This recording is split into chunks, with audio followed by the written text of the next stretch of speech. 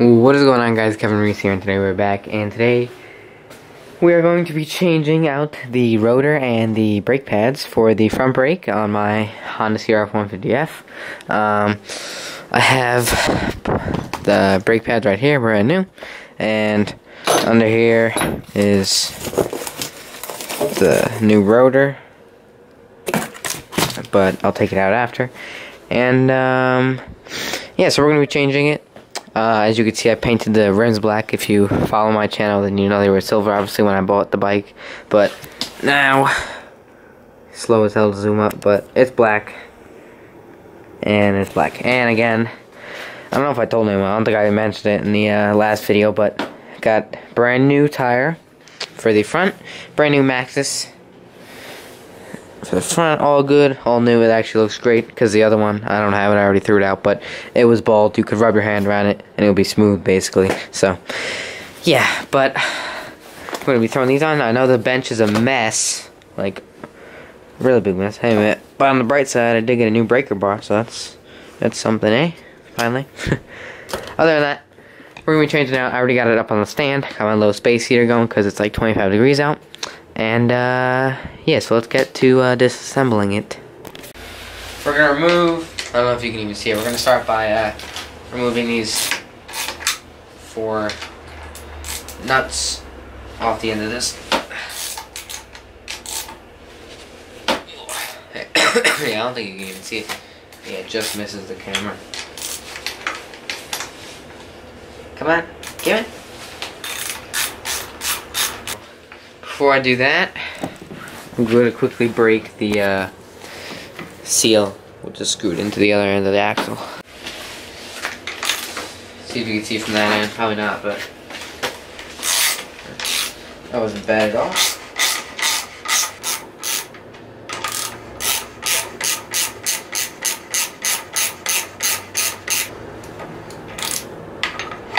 Okay. Get it. Get the rotor out. Come on. Alright. And there we go. Alright, so what I'm actually going to do real quick is, uh, when we were putting the tire on, I painted it before I put the tire on because the rim had no tire on it. It was going to be easier to paint. And as you can see up here, it's hard to see on camera, but you can see a lot more in person. But there's a lot of scrapes and gouges all through the rim when we were trying to put it on from the tire spoons because I didn't have any rim protectors and I didn't care at the moment and uh, yeah so it's all over. I don't know if it's on this side.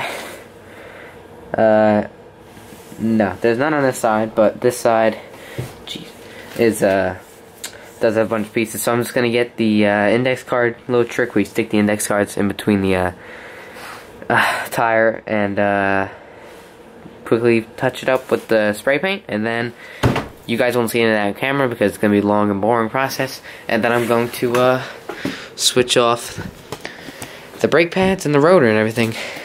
Before we paint it, I'm going to take off the rotor.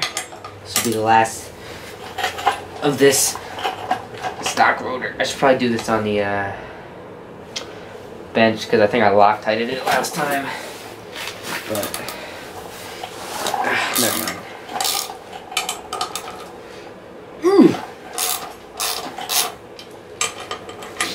Loctite definitely worked.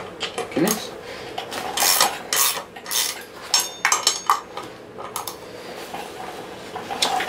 Come on, there we go.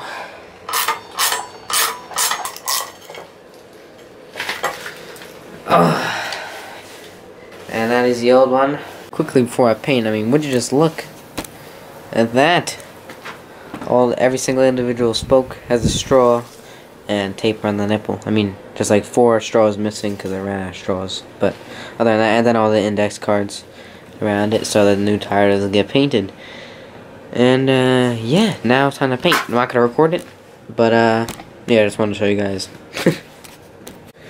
Alright, while my paint is drying on the uh, the um, can't call it wheel, I'm going to take off the caliper. Oh, shoot. Putting these sockets on backwards. So, it just seems to be these two bolts right here. These are probably Loctited in. There's one.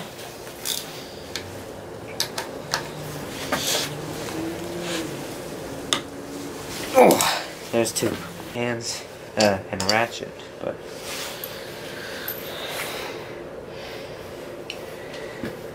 no, it doesn't seem to be anything too bad. Uh, looks pretty good. I got to uh, unscrew this pin right here, and then I think they should just slide out after that. I don't see any more pins, so uh, let me just unscrew this right here.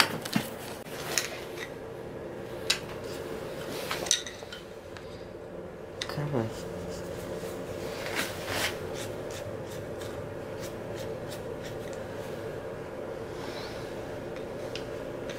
Oh, under this it is a Allen head now, so now I gotta... Alright, I'm just gonna unlock this, uh, get it off camera, and then I'll turn it back on and get it off. Alrighty, I just cracked it loose, a little bit of penetrate, penetrating oil, did the work. Now just unscrew, unscrew.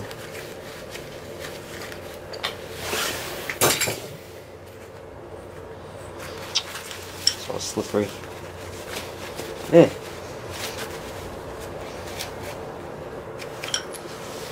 Is the pin. That one, maybe that one comes out first. And then this one comes out second. Oh, I dropped the little retainer clip, but that is him. Alright, I got the wheel all set up. Everything is, I take, took it all off, all the pieces of tape and everything. And it's all back to looking nice. Um, we're gonna put the uh, rotor on real quick. Like people texting me. Like that. Alright, and it lines up good because I never checked if it lined up. But it looks good. I like it a lot better than this. I can tell you that. It looks a lot better. Alrighty. You got all four bolt. Are you I dropped one down the down the center. Oh, and it landed. That's a point, brother. Alright. Let's get it assembled. Alright. So first, it's gonna be kind of how it gloves on, but just take one glove off. Get the Loctite out because you do not want these falling out. Try and do it towards the camera. Sorry if you can't see it because I have no clue what the camera sees at the moment. Get one. You know, if I could screw it in, that would be great. And boom. So, I'll get these all tightened up and show you after. We have a little bit of a problem. It's not really going to affect anything, but I'm to have to fix it sooner or later. Uh, as you can see, there's three bolts and then we're missing one. And you'll never believe what happened with this one. I'm barely even tightening it. Starting to tighten it, you know, it was getting a little bit tight, and I literally, with the socket, uh, socket ratchet, didn't even have it, like, I had my hand right here, so there was no, not a lot of leverage, so I wasn't doing that much force to it.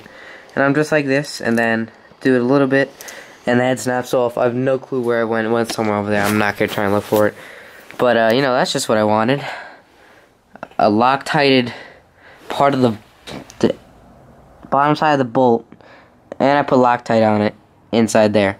So, the really only way I'm going to get it out is to drill it, I guess. I mean, there's really no other way that I'm going to try and get that out. I mean, I can look up other ways to try and, like, get it out, but if you guys have any recommendations for me to get that out, I would love it to hear it. But other than that, I have three. It's going to hold it. It's not going anywhere.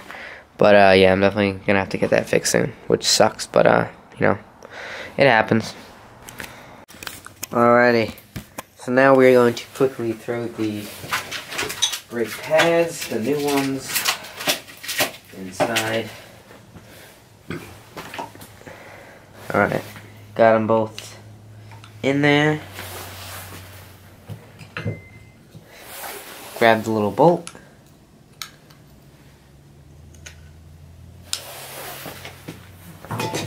Grab the Allen And now we just tighten it up. Alright, I'm gonna put it on the way we put the uh gonna put the wheel on first and then put the caliper on the rotor when it's all on. Instead of trying to slide the rotor inside the caliper and pads first and getting it stuck and stuff, so I'm just gonna do this first. I think it'll be easier to be honest. And uh yeah. So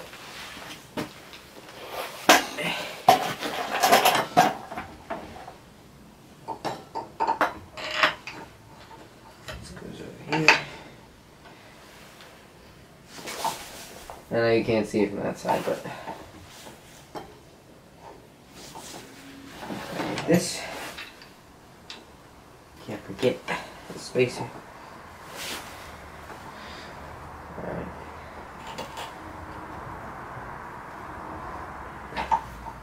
Try and get this in there.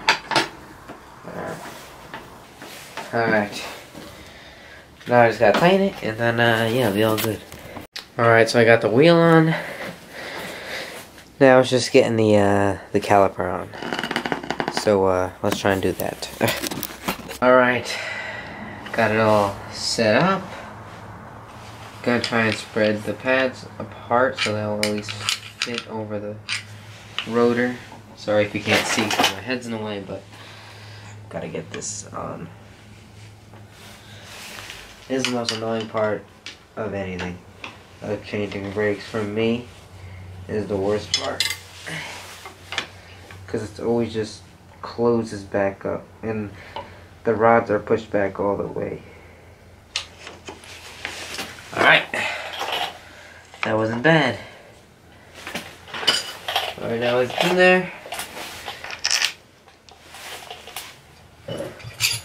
I need to change the socket now, of course.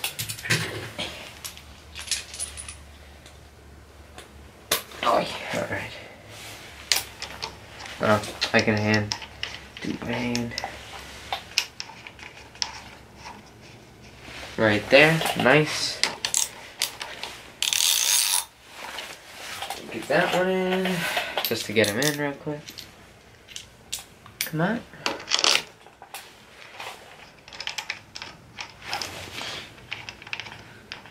I can't even feel my fingers. So that's why it's like Come on. Alright, there we go.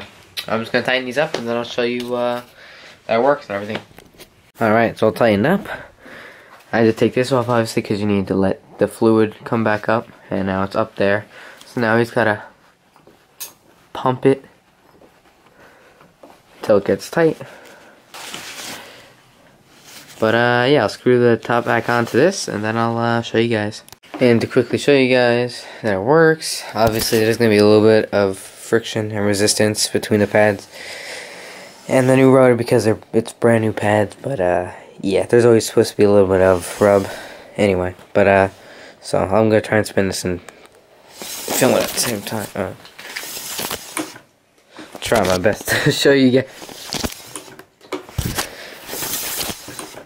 Alright, but anyway, as you know, I'm sure you guys know obviously that's working, and uh, I think it looks a lot better than this old stock thing. I think it looks a lot cleaner. I like it. Obviously, I just need to get that one last bolt, and then I'll be complete. but uh, other than that, one day I'm going to clean up these uh, forks, because, I mean, look at these things. These things are beat to hell. There's that taken out of it, like, oh, these things need cleaning. Oh, excuse me. And, uh yeah, but uh, that was the install of the new brake pads and the rotor. And I'm freezing my ass off right now, so I hope you guys enjoyed. If you did, be sure to leave a big like and subscribe while you're at it. And uh, yeah, thank you guys for watching, and I will see you guys in the, the I can't even talk in the uh, next video. Peace.